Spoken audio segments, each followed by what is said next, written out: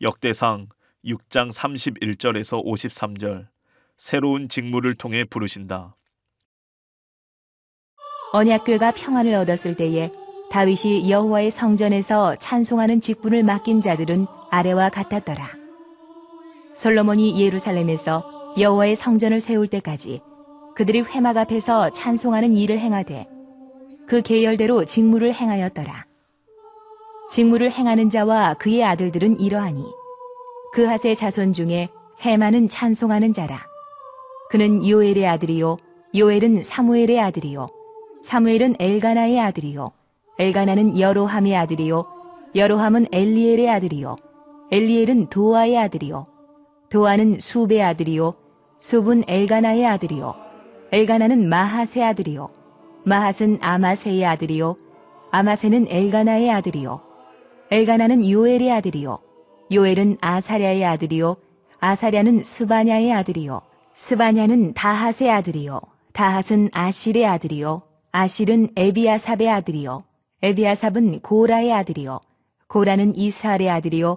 이스할은 그앗의 아들이요. 그앗은 레위의 아들이요. 레위는 이스라엘의 아들이라. 해만의 형제 아삽은 해만의 오른쪽에서 직무를 행하였으니 그는 베레기아의 아들이요. 베레기아는 시모아의 아들이요. 시모아는 미가엘의 아들이요. 미가엘은 바아세야의 아들이요. 바아세야는 말기야의 아들이요. 말기야는 에드니의 아들이요. 에드니는 세라의 아들이요. 세라는 아다야의 아들이요. 아다야는 에단의 아들이요. 에단은 신마의 아들이요. 신마는 시무이의 아들이요. 시무이는 야핫의 아들이요. 야핫은 게르손의 아들이요. 게르손은 레위의 아들이며 그들의 형제 무라리의 자손 중 그의 왼쪽에서 직무를 행하는 자는 에단이라. 에단은 기시의 아들이요. 기시는 압디의 아들이요. 압디는 말룩의 아들이요. 말룩은 하사비아의 아들이요. 하사비아는 아마시아의 아들이요. 아마시아는 힐기야의 아들이요. 힐기야는 암시의 아들이요. 암시는 바니의 아들이요. 바니는 세멜의 아들이요. 세멜은 말리의 아들이요. 말리는 무시의 아들이요 무시는 무라리의 아들이요 무라리는 레위의 아들이며 그들의 형제 레위 사람들은 하나님의 집 장막의 모든 일을 맡았더라.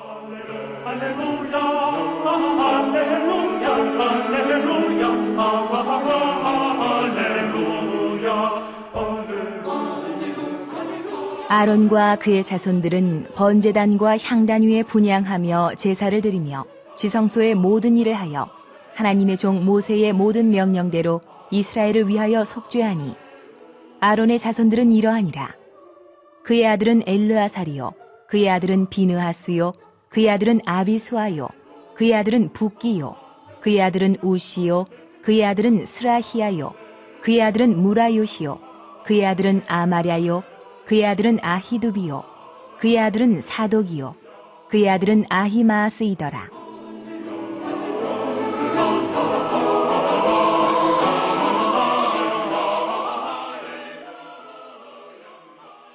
그들이 거주한 곳은 사방 지게 안에 있으니 그들의 마을은 아래와 같으니라.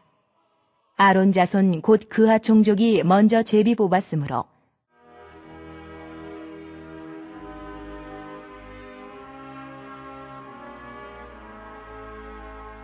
3 1절에서 48절 회막 앞에서 찬송하는 사람들 언약궤를 운반하는 직무를 잃게 된 레위인들에게 다윗은 회막 앞에서 찬양하는 직무를 부여합니다. 그리고 이 외에도 레위인의 후손들은 성전에서 섬기며 봉사하는 직무를 수행했습니다. 역대기 저자는 본 단락의 마지막에 맡았더라라고 기록하며 끝을 맺었습니다. 맡았더라의 원어의 뜻은 주어져 있는 온전히 드린 바된 자입니다. 다시 말해 하나님의 일을 행하도록 지정되고 하나님께 온전히 바쳐진 자들을 말합니다. 이는 직분의 위치나 중요성을 떠나 레위 후손들은 모두 하나님의 백성으로서 그에 상응하는 삶과 책임을 다했다는 것을 의미합니다. 이처럼 우리도 직분에 관계없이 구원받은 하나님의 백성으로서 이에 맞는 삶의 자세와 책임을 다하며 거룩한 열매를 맺어야 합니다. 그러므로 우리를 직분으로 나타내는 것이 아니라 하나님께 온전히 드려져 주님이 기뻐하시는 열매를 맺어가는 귀한 사명자로 살아가시기를 바랍니다. 49절에서 53절 아론의 자손 본문을 통해 대제사장의 직무를 살펴볼 수 있는데 두 가지로 나눌 수 있습니다. 하나는 속죄하는 것으로 목적에 해당하고 다른 하나는 하나님의 종 모세의 모든 명령대로 하는 것으로 과정 곧 방법에 해당합니다. 역대기 기자는 대제사장의 직무를 목적과 방법으로 명확하게 구분하여 기록하고 있습니다. 이는 직무의 목적을 이루되 주어진 방법대로 직무를 수행해야 함을 보여주고 있는 것으로 직무의 목적과 방법이 모두 동일하게 중요하다는 것을 의미합니다. 우리에게 맡겨진 직무, 곧 직분을 감당할 때 목적에만 시선을 고정하지는 않았는지 돌아보시기 바랍니다.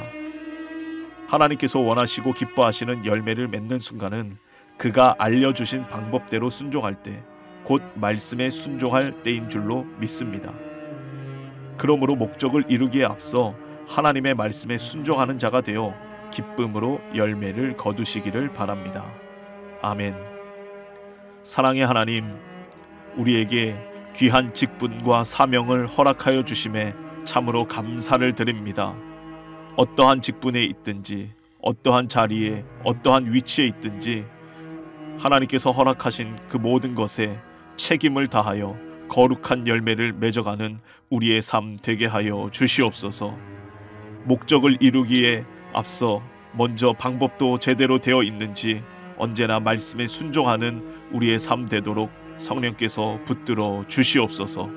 예수님의 이름으로 기도하옵나이다. 아멘.